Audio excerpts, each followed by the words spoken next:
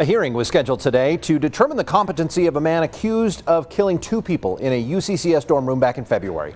We've learned that an expert hired by the DA's office has an opinion that counters one provided by the state hospital, which declared Nicholas Jordan incompetent to stand trial. Bill Folsom was in court today. He joins us now with details. Bill? Yeah, Andy, the next step in this case is a competency hearing. The judge will listen to one expert saying Jordan is not competent to stand trial and the other countering that argument. A status hearing with Nicholas Jordan present but remaining silent revealed that the defense and prosecution have contradicting opinions from experts on his competency to stand trial. It's important to note determining competency is different than a plea of not guilty by insanity. There's not guilty by reason of insanity, um, but that is a defense essentially to a crime.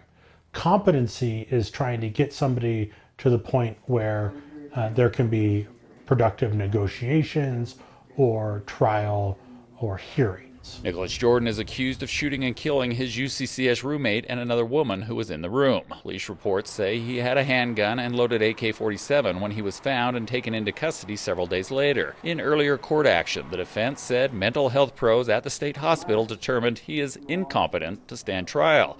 The prosecution argued to get a second opinion. It's very uncommon for the prosecution to get a second um, competency evaluation.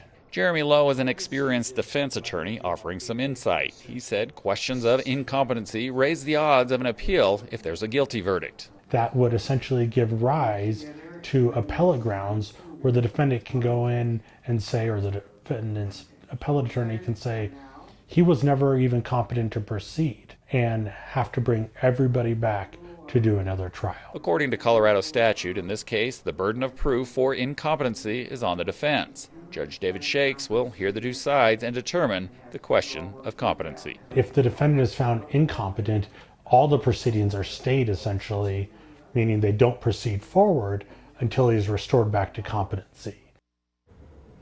And August 16th is the date set for that competency hearing. Andy?